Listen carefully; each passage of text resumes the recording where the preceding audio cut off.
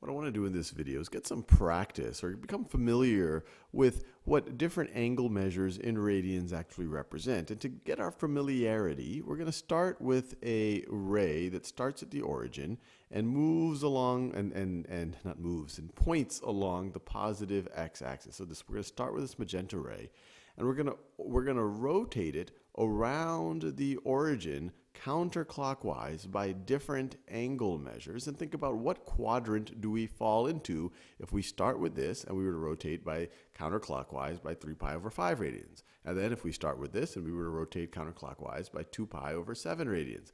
Or if we were to start with this and then rotate counterclockwise by 3 radians. So I encourage you to pause the video and think about starting with this if we were to rotate counterclockwise by each of these, what, what quadrant are we going to end up in? So assume you have had, you you paused the video and you tried it out on your own. So let's try this first one, 3 pi over 5. So 3 pi over 5, so we're going to start rotating. So if we get, if we go straight up, if we, if we rotate it essentially, if we want to think in degrees, if you rotate it counterclockwise 90 degrees, that is going to get us 2 pi over 2. So that would have been pi, a rotation, a counterclockwise rotation of pi over 2 radians. Now, is 3 pi over 5 greater or less than that? Well, 3 pi over 5, 3 pi over 5 is greater than, or I guess another way could say it is, 3 pi over 6 is less than 3 pi over 5. You make the denominator smaller, you're making the fraction larger. So 3 pi over 6 is the same thing as pi over 2. So let me write it this way. So 3 pi over 2 is less than 3 pi over 5. So it's definitely past this. So we're going to go past this.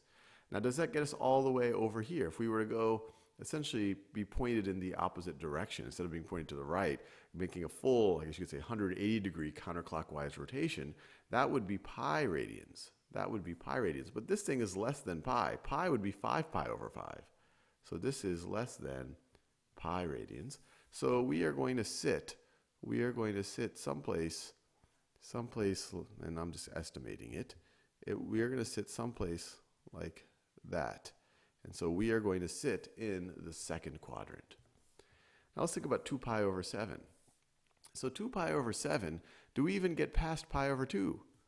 Well, pi over 2 here would be 3.5 pi over 7.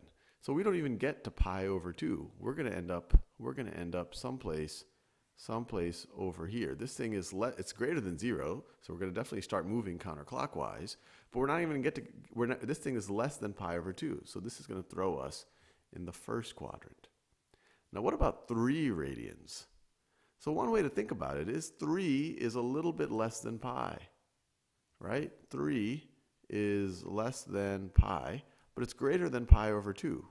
How do we know that? Well, pi is pi is approximately 3.14159, and it just keeps going on and on and forever. So 3 is definitely closer to that than it is to half of that.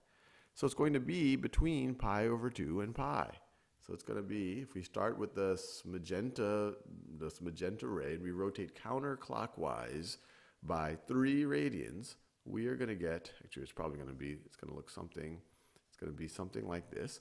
But for the sake of this exercise, we have gotten ourselves, once again, into the second quadrant.